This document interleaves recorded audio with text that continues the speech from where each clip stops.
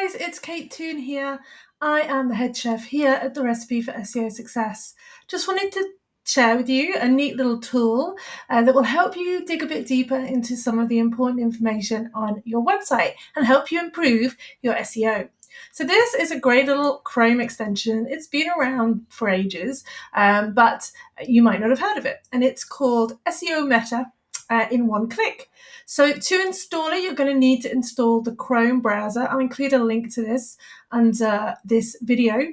And then once you've done that, all you need to do is just go to the Chrome browser here and find the extension and add it. This will say add to Chrome. Once you've added it to Chrome, it will come up as a little icon like this in the corner with a little red S and SEO. And then what it does is if you go to a website, so here I am on my copywriter website. If I click it, it's going to give me some data about this page. It's going to tell me my title tag and how many characters it is.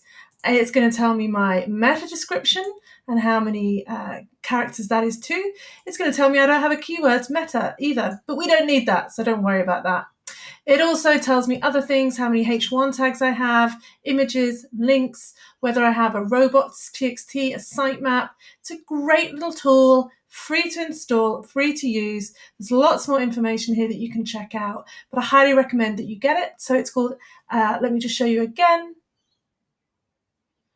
It's called SEO Meta in one click. I'll include a link under the video. Thanks for watching.